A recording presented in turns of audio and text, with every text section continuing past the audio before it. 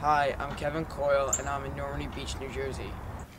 This is our community center and there's town gatherings held here throughout the year. It's a great place for kids to come and play on the playground. And camp is held here. But this wasn't the case two years ago. Hurricane Sandy made landfall here with winds over 80 miles per hour and 13 foot waves. Streets and homes were flooded, trees and power lines were knocked down, gas lines burst, causing homes to burn to the ground. I vividly remember returning the first time after the hurricane. Our town looked like a war zone. Destruction was everywhere. Four feet of water had surged through the community center.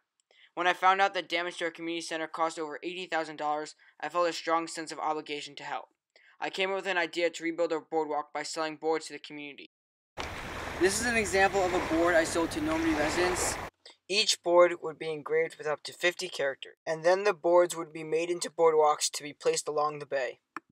In addition to rebuilding the boardwalk, the money we raised would buy new lifeguard equipment and help with the community center repair. I've sold 111 boards currently, and my goal is to get to 200. I've raised over $27,000 for our community center.